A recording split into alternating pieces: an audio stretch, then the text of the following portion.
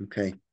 So today we're going to continue with the idea of Tachnun, and uh, I guess with the help of the questions yesterday after the class, it's very appropriate uh, to get into this discussion. This discussion is basically uh, sort of what we said yesterday, which is that there isn't a proper form uh, for the for the Tachanun because uh, each generation and each community had uh, different needs. So um, so that's basically what this uh, paragraph is about. So, despite its great virtue, the Chachamim did not establish Nefilat Apayim to be an obligatory prayer, and they did not institute a set wording for it. Anyone who so desired would add prayers of supplication and prostration after reciting the Amidah, perhaps specifically because of its superior value, being that it expresses total submission to the Creator, may be blessed. It is befitting that it emanates from the heart, from one's most inner resolve. So when it's an obligatory prayer like the Amida, uh, obviously we have to have proper wording because that way we can express the needs of the community. But uh, but the uh, Tachanun is more personal, and we did conclude yesterday. It, it was in the comments, so I'll just repeat it now. That almost all the verses and prayers that we say in the Tachanun, especially the ones of Monday and Thursday, uh, are specifically about the nation. So the restoration of Jerusalem and the restoration of the temple in Jerusalem and the gathering of the people.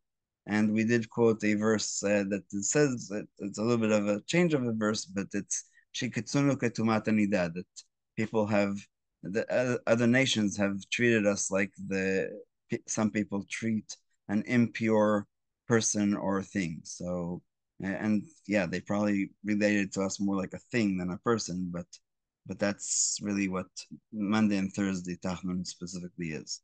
During the period of the Geonim, a permanent wording for Nefilat Apayim and the prayers of supplication after the Amidah began to take shape. In the time of the Rishonim, so the, the, the rabbis that were already uh, establishing the halacha, uh, the wording became established until all Jews accepted upon themselves the obligation to recite certain specific supplications. Like we said uh, yesterday, the Ashkenazi Jews chose uh, Psalm 6, uh, Tehillim and the Sephardim Psalm 25.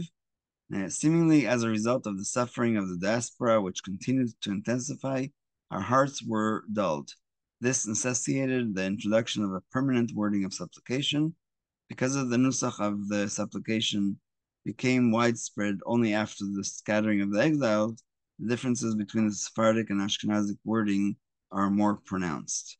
Um, one day we'll talk a little bit about the history, about even how uh, the rabbis got from uh, Babylon to Europe and North Africa.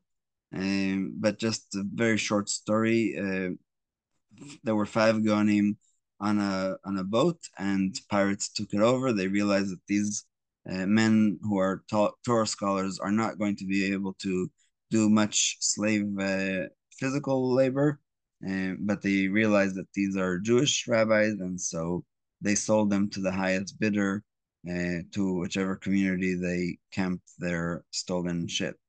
And so that's that's the scattering of the exiles. The Nefilat Apayim prayer expresses heartbreak manifested by the submission of one's body and sacrifices of one's soul.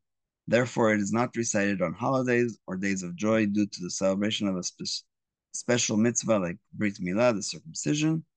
And the Kabbalists, the Kabbalists explain that all the tikkunim, rectifications performed on regular days via the Nefilat Apayim prayer, are achieved on days of mitzvah, celebrating purely through the joyous sanctity of the day.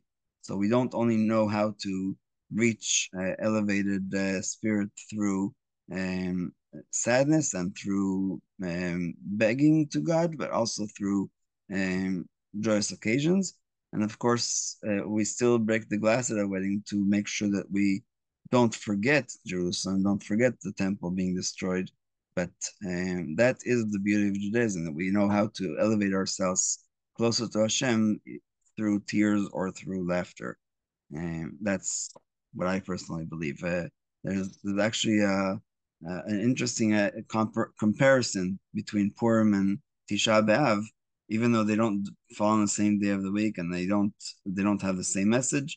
the Talmud and and Megillah says that Mishnichnas Adar Marbim B'Simcha, we have to make yourself more happy, and Mishnichnas Av Mematim B'Simcha. So my brother jokingly, I think jokingly, uh, said that the saddest day of the year is the, the 29th of Tammuz because uh, that's when you start making your yourself less happy.